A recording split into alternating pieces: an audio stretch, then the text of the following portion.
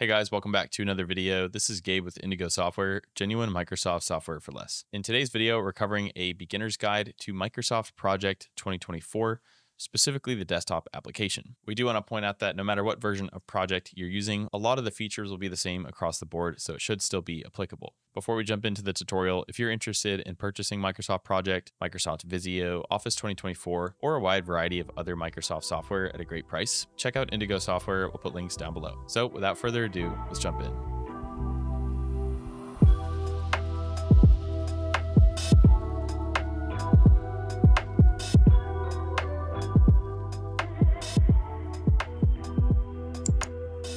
We wanted to make a quick mention that if you don't already have the desktop application of Project installed, we have a tutorial posted on our channel. You can watch that here. All right, so when we first get inside of Project, we're going to be met with this page here. This is very similar to Visio in that we have various templates that we could choose from. For example, if we're doing uh, an earned value report or residential construction, we, we might find one of these templates to be very valuable. Be sure to stick around to the end of this video because we are going to show you guys how to save your own template that you can use throughout all of your future projects.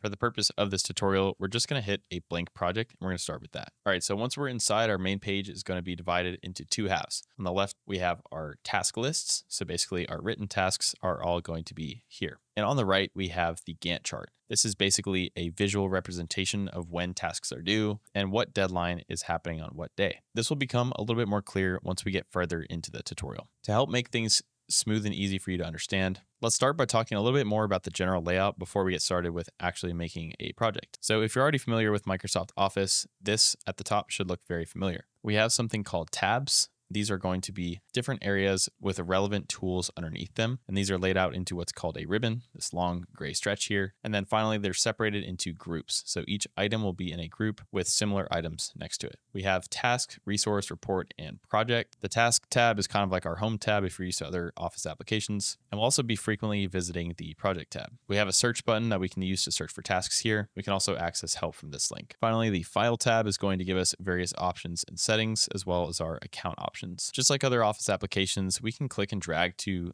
make certain aspects of the display larger or smaller. For example, if I want to see more of the task list, I can click and divide and drag this to the right. And so now we have more of this and less of the Gantt chart. Okay, so now I'm going to take a real project and actually set up the project management using the software. So hopefully this will make it very easy for you guys to follow along and get a sense for how this software works. All right, so what I'm going to start with is I'm going to do my first tasks at the top and the last tasks towards the bottom. This is a project I did with a utility company. We made them a commercial for a new installation. So I'm going to detail the tasks from start to finish, and this is going to help me have a good understanding of how this project is going. We're going to start at the very top, which is collect deposit. When clicking enter, similar to Excel, it will drop me to the box directly below which is nice to know. If I hit tab, I can go to the right. And if I hold shift and hit tab, I can go to the left. If I, if I hold shift and hit enter, I can go up. We also use our arrow keys. So just like Excel, we can get around this without really having to use our mouse. The next thing on our list here would be the pre-production after that, it's the pre-production documents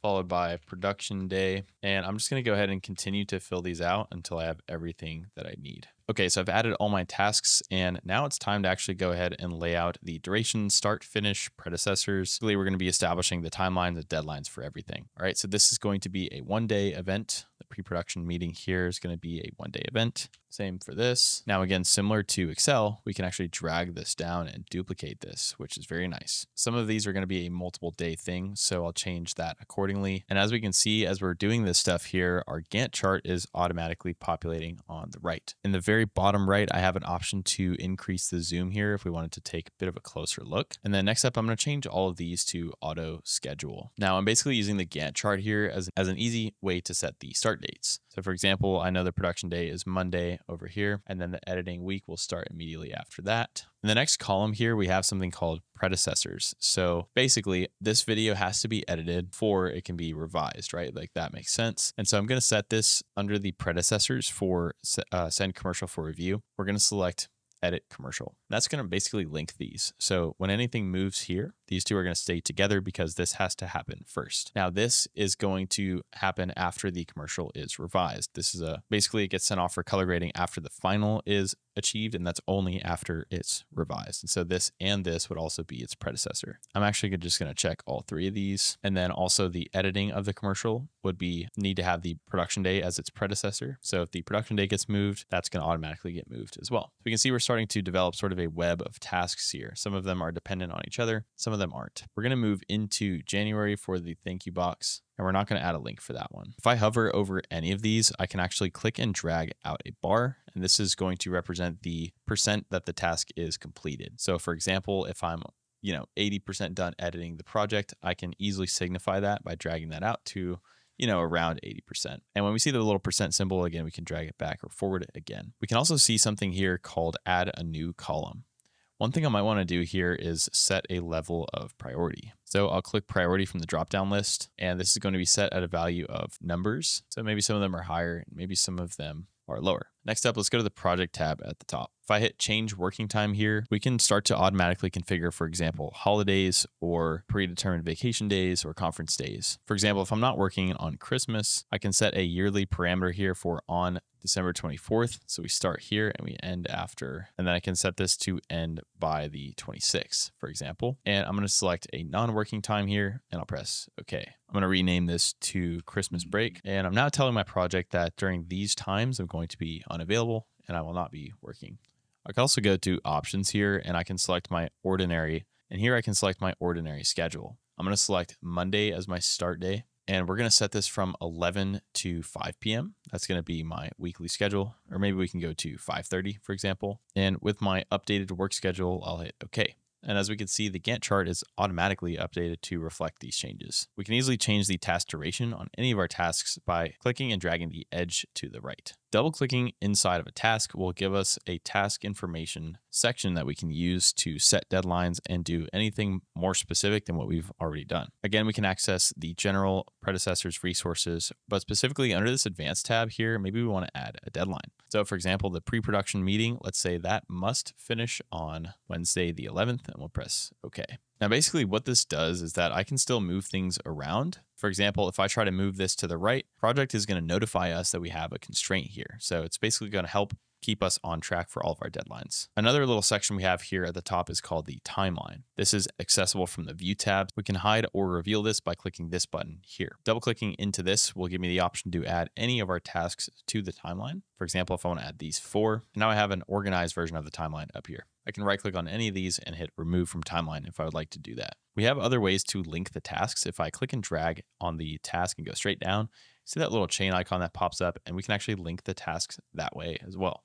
So we don't have to link it through the predecessors tab. Now, besides just the tasks, we have some additional ways that we can sort and group this. For example, if we go back to the task tab and perhaps I want to make a summary or a group with multiple tasks underneath it. So basically group several similarly related tasks together. So I'll click summary. This is helpful because it shows me in bold what the main task is, and then it's just broken up into several parts beneath it. I can create new tasks within this, or for example, I could take this one, I click and drag it inside of the pre-production part. Just like the tasks, we can auto schedule. We can see the summary is represented by this bracket here. Milestones are also accessible right here. Next up, let's go ahead and talk about collaboration. If I click on the team planner inside of the resource tab here, we're going to change it from the Gantt chart to the team planner workspace. At the top here, I'll click add resource and we're going to click work resource. Double clicking inside of this, I'm going to then fill out some general information here. You can also change the calendars or working times here. Okay, now I want to assign some tasks to Natalie, who is our main editor. I can simply drag and drop this onto Natalie's timeline here. I'm going to do the same thing with revised commercial. Okay, now back on the Gantt chart, we can see that reflection made. Now that we've done that initial step, I can more easily assign this to Natalie by checking it from the resource names on the dropdown.